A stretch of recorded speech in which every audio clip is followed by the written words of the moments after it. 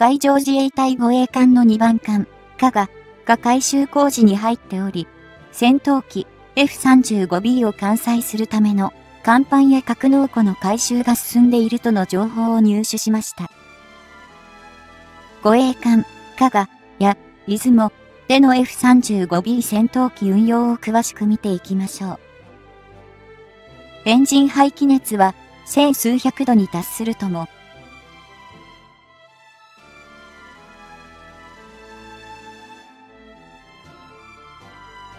日本の海上自衛隊に2022年現在、収益中の艦艇中で最大の規模を誇るのが、複数のヘリコプターを搭載できる護衛艦、出雲、型の1番艦、出雲、2番艦、加賀の両艦である。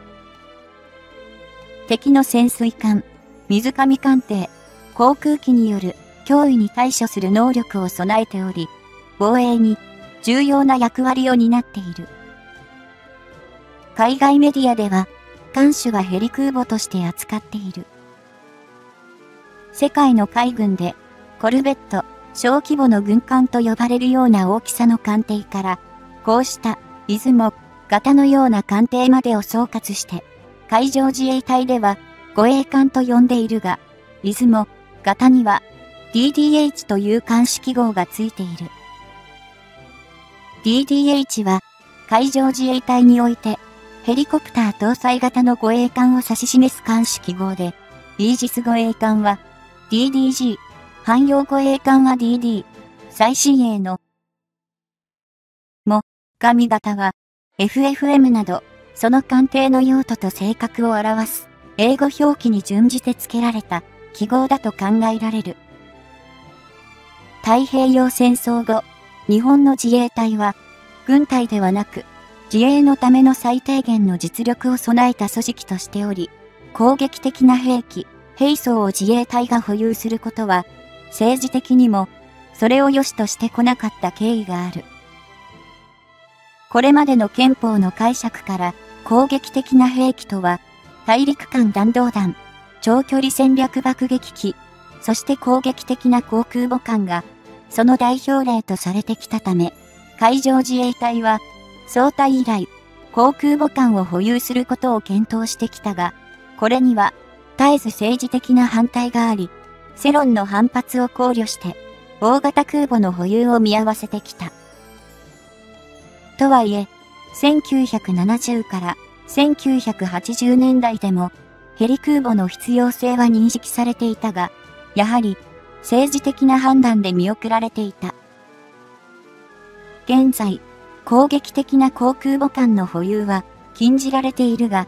防衛に用いる航空母艦であれば、憲法や自衛隊の理念には反さないという日本政府の見解だが、正直なところ複雑である。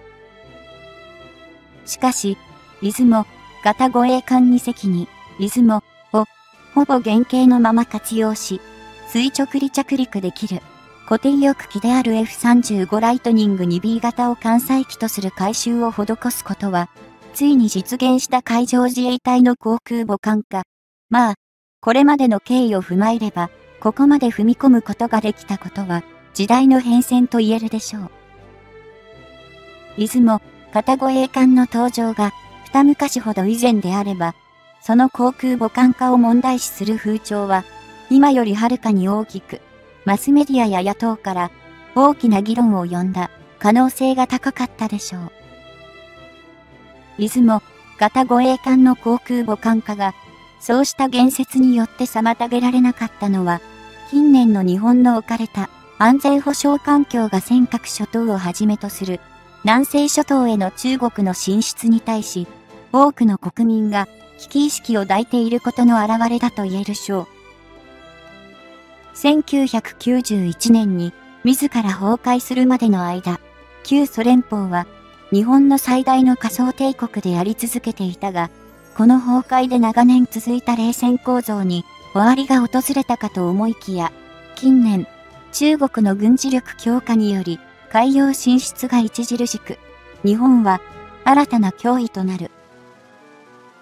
中国海軍は、黄海、東シナ海、南シナ海、日本海と活動範囲を広げており、中国海軍初の航空母艦が2012年に1隻目の遼寧が収益し、それを皮切りに中国初の国産航空母艦を2019年に2隻目の3トンを収益させた。これに加え、初のカタパルト搭載の航空母艦を今年2022年に3隻目の復権も浸水させている。実戦配備された正規の航空母艦は3トン1隻のみ。だが、すでに練習用の航空母艦として運用が続けられている遼寧も西太平洋に進出して軍事演習を行うことが可能なまでになっている。このような中国海軍による海洋進出への危機感が実際に有事となり、南西諸島への攻撃があった場合、沖縄の那覇にしか使用可能な滑走路を確保できていない自衛隊としては F35B を搭載した空母配備すれば素早い対応が可能になり抑止力の強化になると言える。日本では中国軍の脅威に対して陸上自衛隊の地対艦、地対空ミサイル部隊を石垣島や宮古島へと配備を進めたり、有事に対応する水陸機動団を進編するなど、南西諸島方面の防衛力整備を図っている。ヘリコプター護衛艦、出雲、型の空母化も、こうした動きの中で浮上してきたものだ。アメリカのロッキード・マーチン社製の第5世代戦闘機 T である F35 ライトニングには、短距離離陸、垂直着陸での運用が可能な B 型を含んでいたため、出雲、型の航空母艦化を具体化させたと言えるでしょう。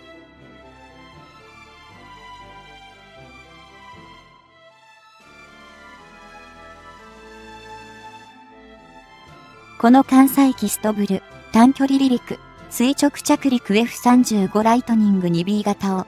現状で総数で42機調達する計画が予定されており、通常時には、宮崎県のニュータバル基地に駐機される予定の同機は、必要に応じて航空母艦化された、出雲、型に艦載されるでしょう。2024年度からの配備が予定されている。出雲、型護衛艦は、一番艦の出雲から先に航空母艦化の改修工事が始まっており、こちらは2020年3月から2021年6月までに改修の第1弾を終え、10月には米海兵隊の F35B を発着艦させる検証を終えている。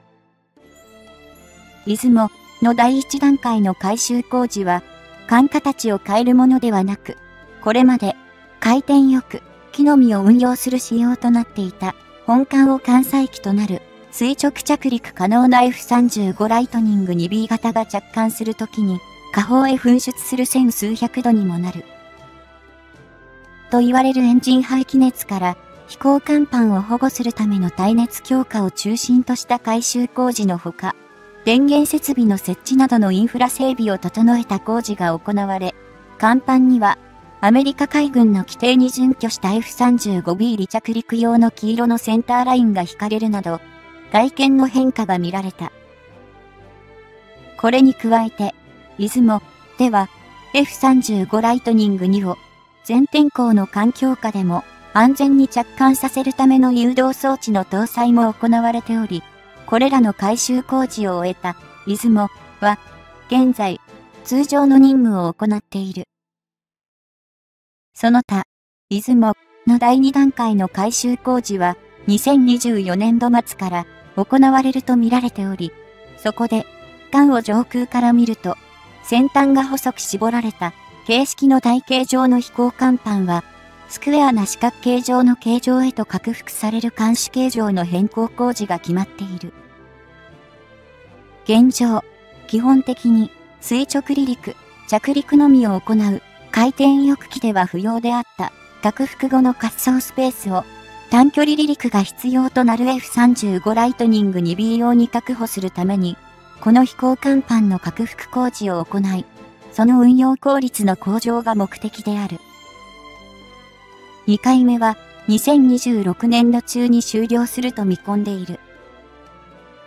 出雲、型護衛艦の航空母艦化が検討された際には、イギリスの航空母艦で、同じく F35 ライトニング 2B 型を艦載機とするクイーン・エリザベス級のように、艦士にスキージャンプ式の勾配の導入なども検討されていたが、実際には必要最低限の回収となった。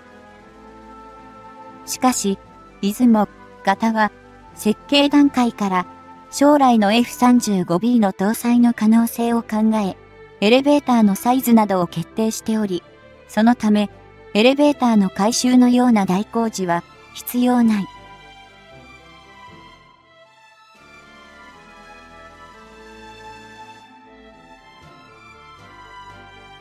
一方、2番艦の加賀は、2022年3月より、軽空母化に向けての1回目の改修工事に入っており、出雲の1回目と同様の短距離離陸と垂直着陸が可能なステルス戦闘機 F35B を搭載するための改修工事に加えて、出雲に先駆けて、監視形状を四角形に変更する先端の拡幅工事が2023年度まで行われる予定である。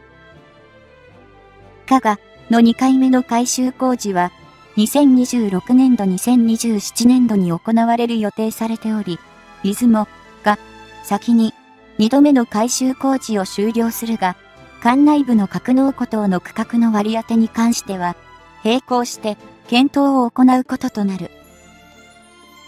これには、先行して F35 ライトニング 2B 型を艦載機として運用するアメリカ海軍の強襲揚陸艦等の実績をもとに、